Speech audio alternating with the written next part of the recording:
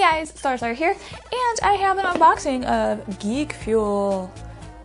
Yes, this is another one of those companies that has geeky stuff in a box that they deliver to you monthly. But um, this one, I actually never heard of it before. I guess they did a Kickstarter, which was successfully funded. So they actually got me one of their first sets to go out. So this is their very first Geek Fuel box which I'm told is going to come with an exclusive shirt that was only for Kickstarter backers. As of right now, Geek Fuel is actually promoting on their website that their boxes start as low as just under $14.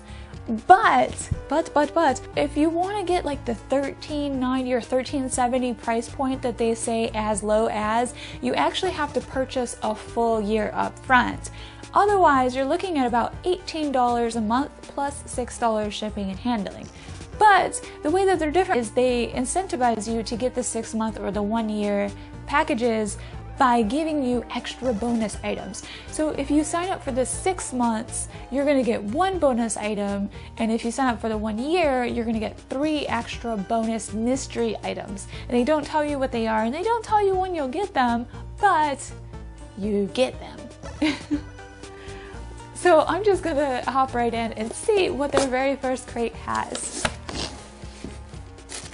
And we have a Geek Fuel sticker. And, I don't know what this is, a little velvet pouch. The Princess Bride uh, playing card set. I can't see too many people getting super excited about that. I like the Princess Bride, I thought it was good. But playing card sets. I don't really know how many people are going to be excited about that. So we have a Pez candy and dispenser, Star Wars themed. I got Boba Fett. And we have a Mega Bloks Halo series little miniature figure. Oh my god, it, it's in pieces. No! Oh, it comes in pieces. I don't like this. I have to build it. Why do I have to build it? I'm too lazy for this.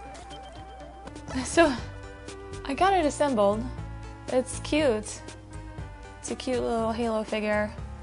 Um, I don't like that I had to put it together because very tiny little pieces. I was a little bit worried that I would drop them or lose them, but it's cool.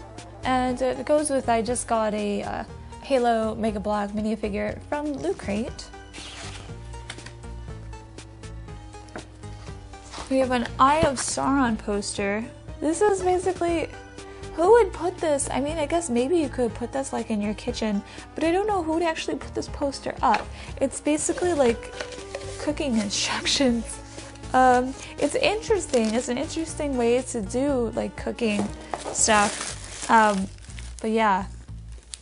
And we have Armor Hunters number one. This is a this is a, a cool little comic book, and it's um, metallic looking. I don't know if you guys can actually see with the camera and the lighting, but it's uh, really cool metallic looking. And then the last thing that's in the crate is the exclusive t-shirt. What size is this? This is size small. This must be like a men's small. It's pretty big. And I have the limited edition. There's only 300 made, and I have number 69. Alright, and that's it. For their very first box, I'm not super impressed, especially with about an $18 price point if you're paying month to month. But they did just finish their Kickstarter and they are just starting out. So, I mean, every company has to start somewhere. Uh, they have a long ways to go if they want to catch up to Nerdblock and Loot Crate. But for their first box, not great, not terrible. Um, it's kind of so so. I would say just kind of keep an eye on them and see how it goes. Maybe watch some people's unboxings as the months go on and see if it catches your interest at all. If you guys are interested in Geek Fuel, you can go to geekfuel.com and I'm also going to have links to their various websites in the description box below. All right, thank you guys for watching.